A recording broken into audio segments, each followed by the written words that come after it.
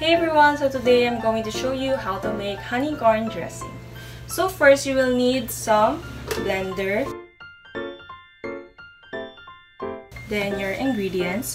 So our ingredients are corn, olive oil,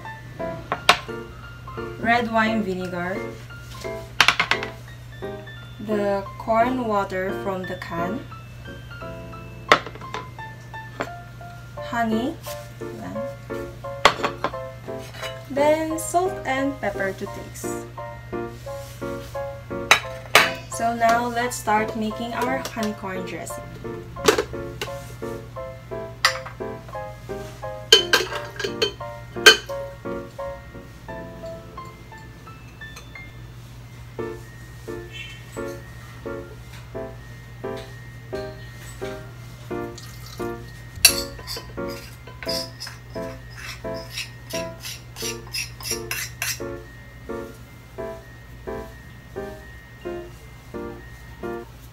We're going to use the corn water if the mixture is too dry.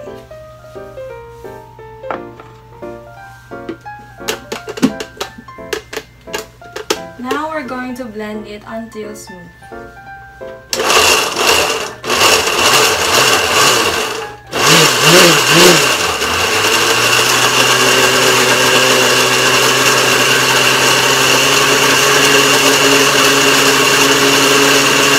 Now we add some corn water.